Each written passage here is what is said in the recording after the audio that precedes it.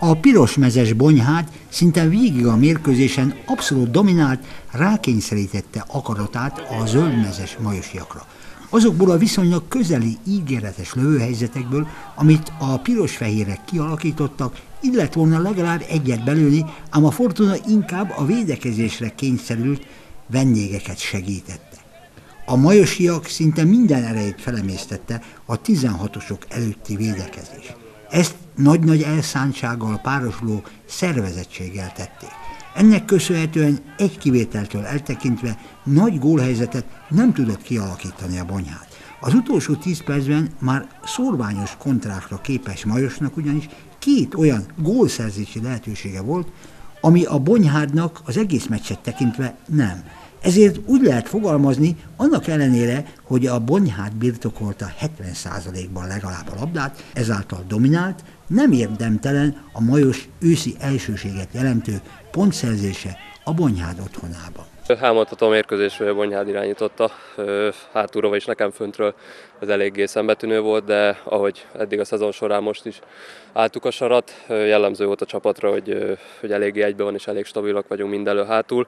Most sajnos inkább a, a védekezésre kellett koncentrálnunk, de ha az helyzeteket nézzük, akkor a két nagyobb helyzet az úgy gondolom, hogy, hogy nálunk volt. Ugye volt a kapufa, és még a végén a 90. percben volt az a számunkra szerencsétlenül alakuló helyzet, egy szituáció, de azt gondolom, hogy nem kell szomorúnak lenni, lennünk, és örülnünk kell az őszi bajnoki címnek. A túloldalon érthetően nagy volt a szomorúság az elmaradt győzelem a bajnoki elsőség elmulasztása miatt, miután a Majos azzal lett őszi első, azonos pontszám mellett, hogy egyel több meccset nyert, mint a Bonyhát. Én most meccs után nagyon szomorú vagyok, mert én nagyon nyerni akartam, meg szerintem a többiek is.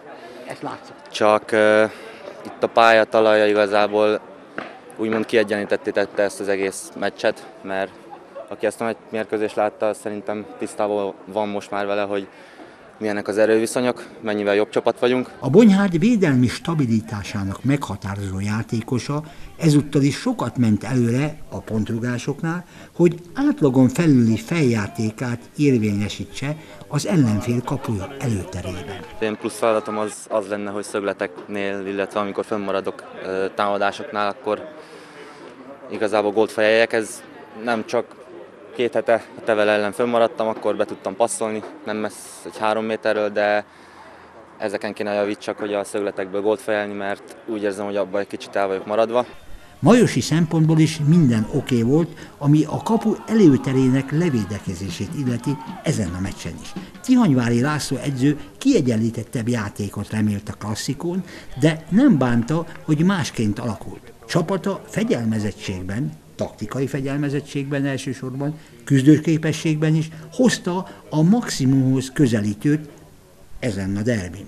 A Bonyhád irányított, ő dominált, lehet, hogy ez a labdabirtoklás még több is volt. Igazából én nem emlékszem arra, hogy nagyon nagy helyzetük lett volna, de, de végig náluk volt a labda. Nehezen telt az idő, viszont azt a tárgyilagosan el kell mindenkinek ismerni, az utolsó öt perce volt két óriási száz az ittszerünk, a Hegedűsnek a lövése, illetve a Kovácsnak az ittzere.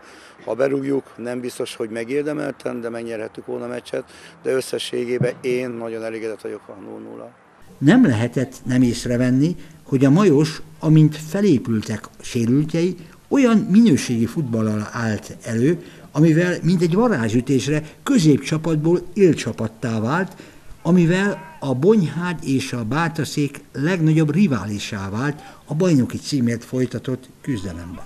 Noha náluk nincs annyi egyénileg képzett futbalista, mint riválisaiknál, csapatként viszont nagyon együtt vannak, védekezésből, kontrákban a legjobbak voltak, lehettek az őszi idényben.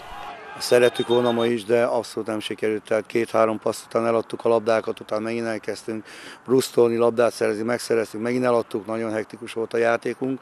Ami nekem nagyon fontos, hogy ugye két és fél év vagyok Majoson, 13 kapott góllal fejeztük be a bajnokságot. Én mind a két évben elmondtam annak, hogy az első hogy a harmadikak lettünk, majdnem 50 gólt kaptunk. 50 góllal nem lehet bajnokságot nyerni. Visszatérve a Bonyháthoz. A csapat bonyhádiságát, a szurkolói kötődést nagyban növeli, hogy úgy van versenyben a bajnoki címe megvédésért a Bonyhád, hogy Kölő Roland újabb saját nevelésű játékosokat épített be a csapatba. Vir Dániel és Sásdi Bence személyében elsősorban.